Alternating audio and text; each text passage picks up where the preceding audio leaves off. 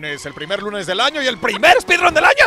Y arrancamos con Escape from Tarkov, un shooter que está ganando una atracción importante en las turbias carreteras de internet. Y es que hace poco se colocó en la cima de popularidad en Twitch dejando atrás al poderosísimo dúo de Fortnite y League of Legends. Pero ¿por qué este juego se volvió tan popular de la nada? La razón es la campaña de Twitch Drops de Año Nuevo, la cual permite a los espectadores obtener objetos de forma gratuita. Y bueno, volvemos a confirmar que gratis hasta las patadas. También amanecimos con un par de regalitos cortesía de Sony para los miembros de PlayStation Plus. Los juegos son Uncharted The Nathan Drake Collection y Goat Simulator, es decir, las versiones remasterizadas de Uncharted 1, 2 y 3. Y también se suma el Sandbox que protagoniza un excéntrico grupo de cabras locas con ojos saltones. Algo es algo, ¿no?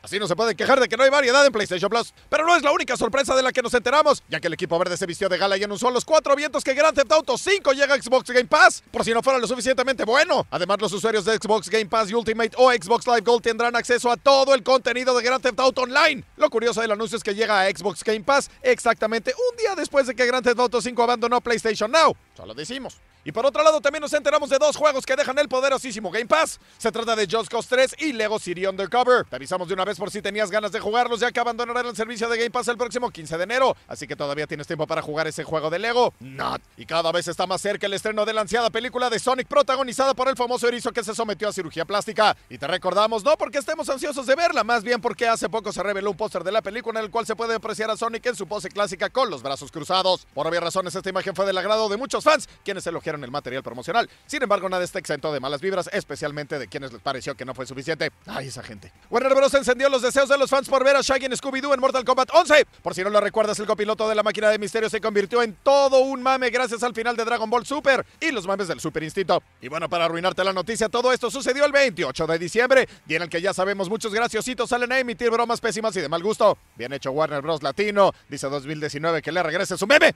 Ahora nos enteramos sobre el desenlace de la pelea legal entre el gigante corporativo de Nintendo y el pequeño dueño de una tienda de videojuegos. De acuerdo con un reporte, Nintendo llegó a un acuerdo con el dueño de la tienda, el cual acordó dejar de vender hardware modificado y destruir todo lo relacionado con la venta y distribución de piratería. Y hablando de grandes compañías, nos enteramos de que Sony y Microsoft se siguen midiendo los teraflops para ver quién los tiene más grandes. De acuerdo con la información, el Xbox Series X contará con un procesador capaz de alcanzar los 12 teraflops de rendimiento teórico. Por su parte, se dice que el PlayStation 5 tiene la capacidad de procesar 9.2 teraflops teóricos. En fin, hagan sus apuestas y voten por quién tendrá los flops más grandes, aunque tienen que considerar que ni Microsoft ni Sony han revelado información detallada. La serie de Gerardo el Magia sigue rompiendo internet. Algunos dicen que es la serie más popular del momento por encima del Mugre Baby Yoda. En fin, esto no quiere decir que está libre de pecados, los cuales son del conocimiento de la directora de la serie, quien responde a los que encontraron confusos los saltos temporales que existen en la serie. De acuerdo con la directora, según un orden cronológico estricto, sería aún más confuso, pues no se tendría la oportunidad de presenciar y desarrollar personajes importantes como Jennifer o Siri, sino hasta en temporadas más avanzadas. Uy, hace mucho que no teníamos a Pop G en este programa, y es que en esta ocasión Pop G da de qué hablar gracias al estreno de la quinta temporada, pero no estará aquí por ese simple hecho,